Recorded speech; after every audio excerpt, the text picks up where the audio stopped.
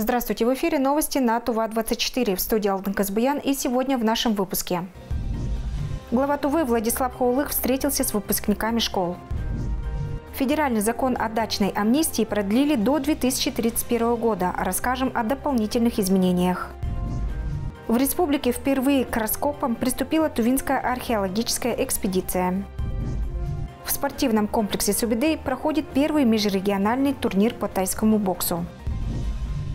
Сегодня в Доме правительства Тувы прошла встреча главы республики Владислава Хувалыга с выпускниками школ. Сколько ребят в этом году стали обладателями золотых медалей, рассказывает Айрасад. Позади 11 лет, впереди взрослая жизнь и выбор профессии. В зале правительства чествуют 59 медалистов из разных уголков Тувы, в числе которых и выпускница 15-го столичного лицея Анастасия Старикова. Она набрала 100 баллов по русскому языку. Хотела бы поблагодарить своих учителей, а в особенности Бутуеву Светлану Олеговну, моего первого учителя, Капиту Татьяну Николаевну, привившую мне интерес к химии, Оксану Ник... Новикову Оксану Николаевну, учителю, учителя русского языка, благодаря которой я набрала 100 баллов ЕГЭ по русскому языку, и Кужугет Бабака Чепаковну, учителя, благодаря поддержке которого я не раз занимала призовые места на олимпиадах по английскому языку. С приветственным словом выступил глава Тувы Владислав Ховалыг выразил особую благодарность преподавателям и родителям выпускников.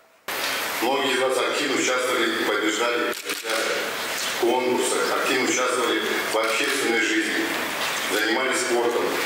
Очень рад, что с каждым годом школьники Тувы, судя по итогам ЕГЭ, улучшают свои результаты. В этом году выпускники показали лучшие результаты по химии и физике, обществознанию. Стало больше ребят, выбравших на ЕГЭ информатику. В республике делается много для создания более качественной образовательной среды. Строятся новые приобретается современное обучающее оборудование. В этом году пять учеников по разным предметам получили 100 баллов. Среди них Айдын Оржак. Ученик 12-й школы рассказывает, что за золотой медалью стоит огромный труд и усердие. Я первый стобалльник в республике за ЕГЭ по химии. В жизни нет ничего невозможного. Если ты хочешь, ты сделаешь все, чтобы добиться своего. Я хочу сказать, что я очень горжусь собой. При поступлении большое значение имеют результаты ЕГЭ. Нельзя сравнивать данные ЕГЭ этого года и прошлого года, потому что абсолютно разные программы, абсолютно разные подходы к, к самому ЕГЭ. Поэтому ни в коем случае мы не сравниваем 21-22 год. А По девятиклассникам ситуацию можно сравнить, потому что дети уже одну программу изучают. И прошлогодние девятиклассники, и выпускники этого года. Здесь, наоборот, у нас радости больше, есть хорошая тенденция на увеличение количества сдавших на хорошо и выше. Первую школу села Кызыл-Мажалык в этом году оканчивают 25 выпускников. Есть и золотая медалистка. По сравнению с прошлым годом, конечно, вот э, у нас поменьше. Вот в прошлом году было 7 э, выпускников, которые получили золотые медали. Позапрошлом году 4 медалиста у нас было. Ну, надеюсь, что в следующем году уже под- подходят другие ребята, которые действительно у нас будут побольше уже медалей.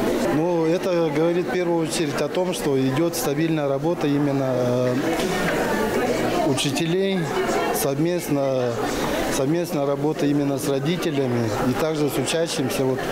И, конечно, хотелось бы вот, э, отметить именно трудолюбие самих ребят, которые действительно достойны этой медали. Завершающей нотой мероприятия стала совместная фотография выпускников с главой Тувы Владиславом Ховалыгом. Айраса Чайхандонга, Казамато Чур, Тува-24. С 1 июля в России вступает в силу федеральный закон по дачной амнистии. В тонкостях постановления разбирался РС Мунгуш. Нововведенная дачная амнистия дает возможность владельца земли зарегистрировать имущество на этой земле в упрощенном порядке. Если на земельном участке ведется личное подсобное или дачное хозяйство, земля используется для жилищного или гаражного строительства или в ней имеется здание капитального строительства, то гражданин вправе зарегистрировать право собственности на эти объекты недвижимости. Для этого нужно обратиться в администрацию по месту жительства. Основное условие по этому закону – жилое строение должно быть построено до 14 мая 1998 года. А, при этом могут быть использованы любые документы, которые подтверждают, что этот дом а, был построен и они живут до 14 мая 1998 года. То есть это могут быть старые технические паспорта, выданные до 1 января 2013 года. Это могут быть какие-то квитанции об оплате там, за свет, там, за какие-то коммунальные услуги, ну и иные документы. То есть перечень документов, он не закрытый. Если есть такие документы, то указанные граждане, они, например, по городу Кызыла, они могут обратиться в уполномоченный орган. Это у нас Министерство земельных и имущественных отношений. Он находится на Калинина 1Б. В результате владельцы дач по закону смогут без ограничений совершать сделки со своими участками и передавать их по наследству. При этом права на участки будут распространяться на любые виды разрешенного использования. На особо охраняемые территории дачная амнистия распространяться не будет. К ним, как правило, относят земли государственных природных заповедников, в том числе биосферных, государственных природных заказников, памятников природы, национальных природных и дендрологических парков и ботанических садов. Отменены штампы э, регистрации регистрации. То есть э, до 29 июня этого года все сделки, например, это договоры, э, договоры аренды, договоры долевого участия, э, либо если права возникали на каких-то на основании каких-то сделок, например, договор купли-продажи, дарения, ставила специальные регистрационные штампы ставились. С 29 июня эти штампы отменены.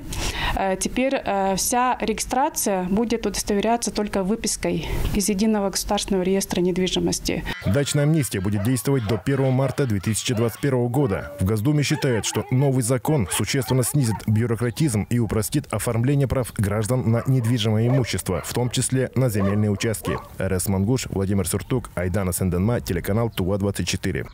Археологи Тувы открыли полевой сезон в Чедыхольском районе. В проекте участвуют студенты Тувгу и добровольцы проекта, волонтеры в крае Семи озер. На курганах побывал Сайген Бюрбю.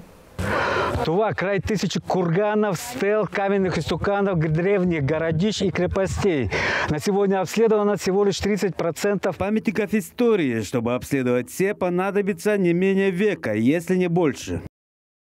Начало археологических раскопок на территории Чедыхоля – событие значимое не только для научного сообщества Тувы, но и для самих местных жителей. Это способствует развитию э, именно в нашей местности вот, э, туризму, туристическому маршруту. И также я думаю, что э, также будет способствовать развитию по экономическому. Открытие археологического лагеря Тайныхонаш прошло в Центре культуры и досуга Сумона Хендерге, вблизи которого и будут проходить раскопки. Данное событие, на мой взгляд, открывает в целом новую страницу в истории тувинской науки, в истории археологической науки, этнографической. Как отмечают ученые, на территории Чедыхольского района по-настоящему серьезная археологическая работа не проводилась. При всем богатстве исторических памятников, будь то курганы, петроглифы и другие артефакты. Для тувинской науки, для нашего института это очень э, значимое событие, можно сказать, эпохальное. Дело в том, что, ну, наверное, если не побоюсь сказать, после э, такого великого археолога, как э, Мануэл Мангуш это первая э, значит, экспедиция э, тувинских, подчеркиваю, тувинских археолог, археологов без привлечения значит, археологов э, из значит, других регионов. Экспедиция стала возможна благодаря двум проектам. Волонтеры в крае Семи озер и время собирать камни, инициированный общественным лидером Чедыхольского района Кангаром Каланголом. Данный э, проект интересен в том, что он не только чисто научный, археологический. Дело в том, что это и волонтерский. Э, мы будем проводить мастер-классы для молодежи по археологии, а также по этнографии. Будем э, как бы показывать древние традиции, обычаи тувинцев. Научным руководителем первой тувинской археологической экспедиции назначена молодая, но авторитетная в научной среде ученая-археолог Лариса Чадамба. Мы выбрали объект э, кургана могильник Часук-2, Часук-1. Э, в составе этого э, могильника более 40, 40 курганов. И вот один небольшой объект был, был нами выбран. Мы хотим, ну, небольшой, потому что у нас Мы как бы начинаем да, свою деятельность такую самостоятельную и хотим наработать, наверное, ну, опыт. Участники экспедиции с нетерпением ожидают начала работы. Многие на раскопках впервые. Вообще у нас волонтеров, 15 волонтеров, так как этот объект, проект у нас волонтерский, и 16 студентов. Ну, мы рассчитываем 3, 2-3 недели. Ну, посмотрим, как получится. Археологический лагерь разбит в живописном местечке Тенныхонаш в предгорьях горной гряды Тангдеула. Лагерь состоит из 18 палаток. Рядом протекает река Элегест. Предусмотрено все. Лаборатория для изучения артефактов, столовая, спортивная площадка и даже баня. Приехал два дня назад. В принципе, это все нормально, просто я городской, мне непривычно э, так спать, скажем так. Дома-то мягко, кратко, а тут с утра просыпаешься, шея ломит, спина, все такое. А в принципе, тут хорошо обустроились. Так-то привычно, нормально. По сравнению, наверное, с другими там, скажем так, лагерями, наверное, тут какие-то райские условия есть. Если для студентов раскопки – это практика и в чем-то школа жизни, то для волонтеров проект является общественно важной вехой в своей жизни. Я очень счастлив быть здесь в качестве волонтера, потому что это очень значимое событие для нашей республики и вообще для всего научного сообщества. И здесь, конечно, я не мог пройти мимо. Здесь вообще в этом районе никогда не производили раскопки.